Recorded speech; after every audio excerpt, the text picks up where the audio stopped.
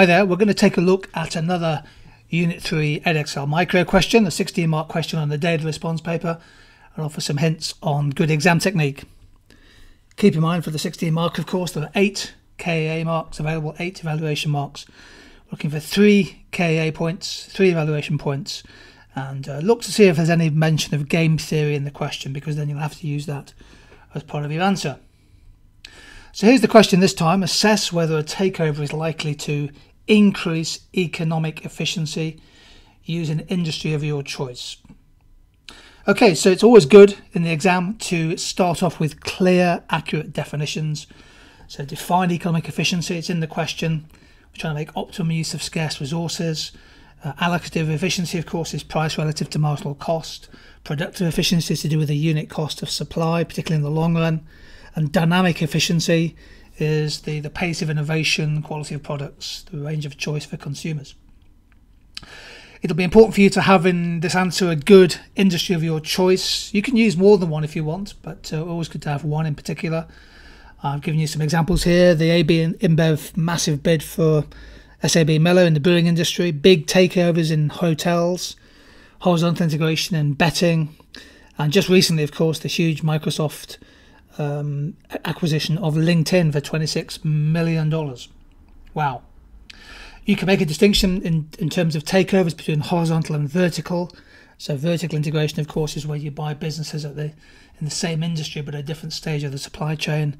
Good example there, Apple buying the motion capture company Face, Faceshift. But start off with definitions and get some good examples in. It's always good to use a relevant KA analysis diagram. So this one could be used, this is the long run average cost curve diagram, could be used to explain how a takeover might lead to economies of scale and therefore lower long run average costs, taking a business perhaps closer to the minimum efficient scale of production. You can also use an analysis diagram as the prelude, as the support for good evaluation. So you might be arguing some point in the answer that actually takeovers can worsen economic efficiency because they lead to more monopoly power so bring in a monopoly diagram. Uh, takeovers that increase market power can lead to higher prices for consumers above marginal cost, causing a loss of allocative efficiency and overall welfare. Now, those of you really confident, this area here that I'm showing on my mouse will be the area of deadweight loss, this area here, if you price above marginal cost at output Q1.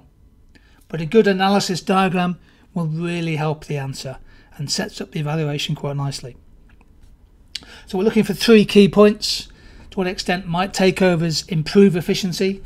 Well, there might be some economies of scale from horizontal integration. For example, two brewing firms merging their operations and rationalizing their, their production to bring down unit costs. There could be higher profits from a takeover, which increases the funds available to finance research and development, which could lead to more innovation and dynamic efficiency, perhaps the merger of two uh, pharmaceutical companies. And the other point, of course, is that even if a firm has more monopoly power as a result of a takeover, it may still face actual and the threat of competition in contestable markets. And therefore, the price could actually be, instead of this being the monopoly price up here, P1, if you're in a contestable market, the price is likely to be lower because of the actual or the threat of competition. So that would lead to a more allocatively efficient outcome. Counter arguments, counter arguments against the arguments that takeovers lead to efficiency. Uh, market power, of course, for the enlarged firm could actually generate X inefficiencies. Uh, managerial slack and waste because of the absence of real competition. Uh, firms may become too big. Mergers may exa- exacerbate the, the risk of diseconomies of scale. So you could use a diagram for that. Use your contextual knowledge to explain how many mergers actually fail to to reap or achieve the likely forecast gains in, in unit cost reductions. And of course, you can also point to the fact that there are now many more demergers happening across different industries. And demergers suggest that lots of takeovers actually don't do much, both for economic efficiency and also for shareholder value. Generally, many takeovers and mergers are driven by managerial motives, managerial objectives, which actually have little to do with economic efficiency. That's a point in evaluation. Another argument is that most mergers are actually cleared on competition grounds, so the Competition and Markets Authority less worried about mergers from an efficiency competition point of view. However, a recent example, just last month, the Three-O2 merger was blocked on competition issues by the European Competition Commission.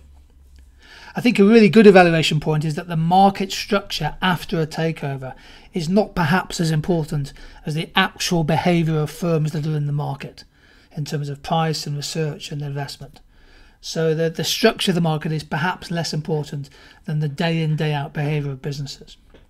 That said, horizontal integration is probably more likely to raise concerns about market power and a potential loss of allocative efficiency.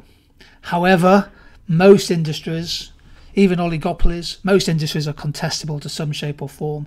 There's the threat of competition, some disruptive uh, businesses coming in, uh, particularly in sort of technology industries where you know, new startups such as Uber and Airbnb can very quickly become globally scaled businesses. So there's plenty of evaluation that you can throw into this kind of essay. Uh, it's just a good idea to have lots of examples of recent mergers and takeovers and what were the motivations behind them, and then make a clever, clear link between those takeovers and the, the types of economic efficiency that we've mentioned at the start of this video. So hopefully that will be a good question for you and one you could really attack as part of your, your 16 marker. Thank you.